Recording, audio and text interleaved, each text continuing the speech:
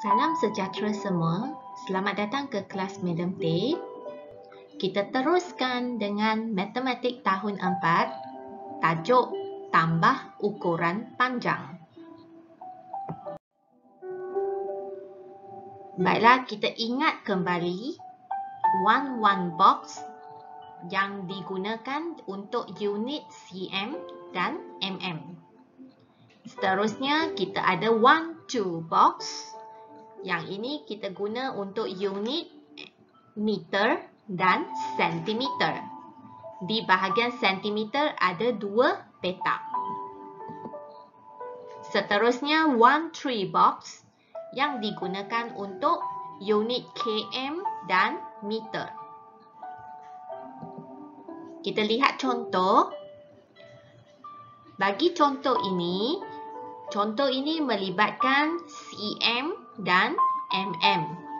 Jadi, apabila cm dan mm, kita akan pilih one one box yang pertama. Okey. Seterusnya, kita masukkan nombor ke dalam one one box. Lihat ayat matematik 28 cm. Jadi, kita tulis 28 di ruangan cm. Seterusnya 7 mm kita masukkan dalam ruangan mm. Ingat di ruangan mm hanya boleh ditulis dengan satu digit sahaja. Seterusnya tambah 339 mm. Okey, bagi 339 mm kita mula daripada ruangan mm, mula dari mm, okey, dari belakang jadi kita masukkan 9. Ingat hanya satu digit. Digit yang selebihnya kita kena masuk ke dalam ruangan cm. Jadi 3 3. Seterusnya kita tambah 7 tambah 9 16 8 tambah 1 9 tambah 3 12 Kemudian 1 tambah 2 tambah 3 kita dapat 6 Seterusnya, lihat apa kehendak soalan. Soalan nak dalam unit mm. Jadi, saya bulatkan unit mm dalam one one box. mm tanpa titik perpuluhan. Tak ada titik perpuluhan. Jadi, kita ambil jawapan ni keseluruhannya. Kita tulis je tanpa titik perpuluhan. Jawapannya 626 mm. Seterusnya kita lihat contoh dua. Bagi contoh dua, melibatkan cm dan mm. Kita semak dulu unit dia cm dan mm. Jadi untuk cm dan mm, kita pilih one one box juga. Yang pertama. Okey, seterusnya kita masukkan digit ke dalam, uh, masukkan nombor-nombor pada soalan ke dalam one one box. Kita mula dengan 14 cm. Jadi 14 cm tulis di ruangan cm 14 dan 9 mm masuk di mm tambah 57 cm. Jadi 57 tulis di ruangan cm dan di bahagian mm tak ada digit. Kita letakkan sifar. Okey, letakkan sendiri sifar. Kemudian sambung tambah 16 cm. Okey, tulis 16 cm di mm di cm dan 8 mm. Okey, 8 mm. Kemudian kita jumlahkan 9 tambah 8 17. Kemudian ni 5 5 tambah 7 12 tambah 6 18 Kemudian di depan ni 1, 1 tambah 5, 7, 8. Okey. Seterusnya, lihat kehendak soalan. Apakah kehendak soalan? Unitnya cm. Kita bulatkan cm di one one box. Jadi cm merangkumi titik perpuluhan. Maksudnya jawapan kita kena letakkan titik perpuluhan. Kemudian kita ambil keseluruhan jawapan ini. Kita isikan di ruangan jawapan di atas. 88.7 cm. Contoh seterusnya, cm dan m. cm dan meter. Apabila cm dan meter, kita kena pilih one two box. Okey, kita pilih one two box meter dan cm. Okey, seterusnya kita masukkan nombor-nombor ke dalam one two box. 74 cm. Okey, di ruangan cm kita tuliskan 74. Okey, seterusnya di meter tak ada digit kan? Kita letakkan unit sifar. Seterusnya tambah 1 perpuluhan sifar 8 meter. Ada perpuluhan, jadi saya letakkan perpuluhan di sini. Okey, di sebelah kiri 1. Seterusnya sifar 8 kita tulis di ruangan cm. 1 perpuluhan sifar 8. Kemudian 308 cm.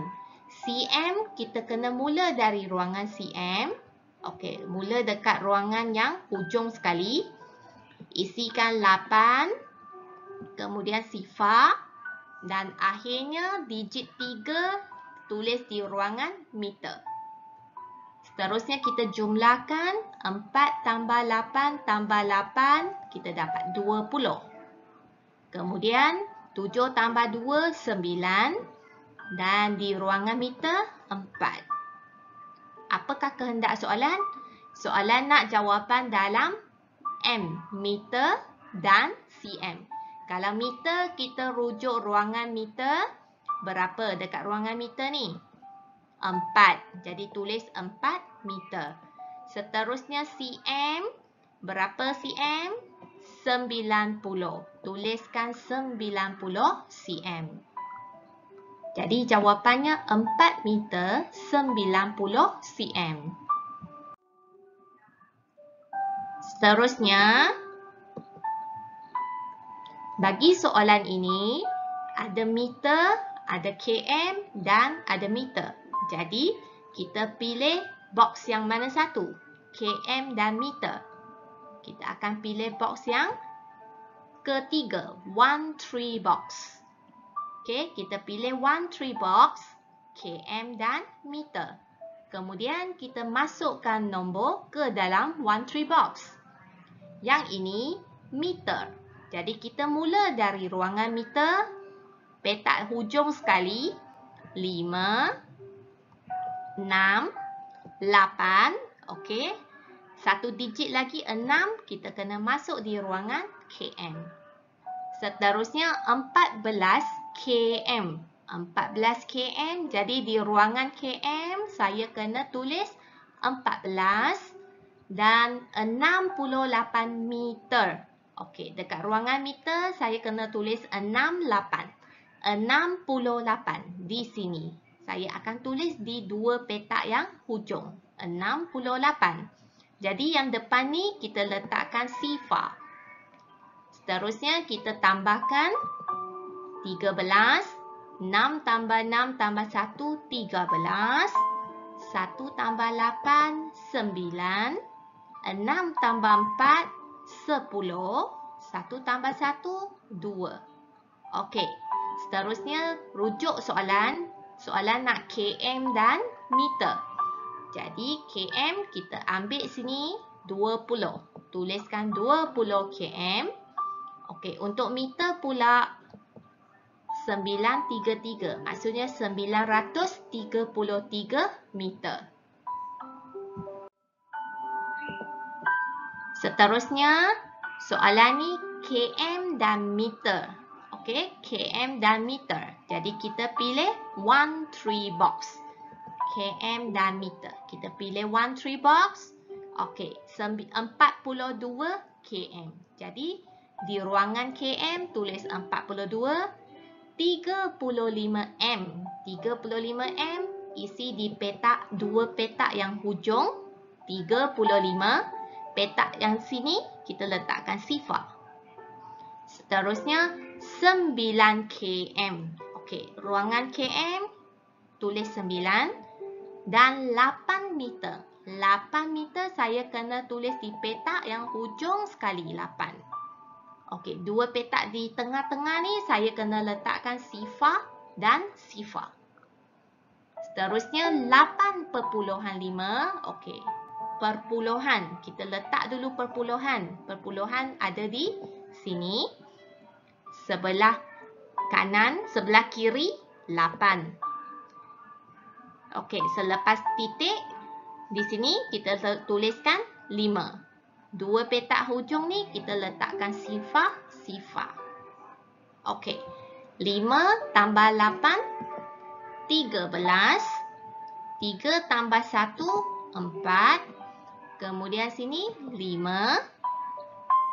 2 tambah 9 tambah 8 dapat 19. 1 tambah 4, 5. Okey. Tengok balik kehendak soalan. Jawapan dalam meter. Meter. Jadi, meter tanpa titik perpuluhan. Tak ada titik perpuluhan. Maksudnya kita ambil keseluruhan jawapan ni tanpa titik perpuluhan. Jawapannya 59,543 meter. Terima kasih dan selamat belajar.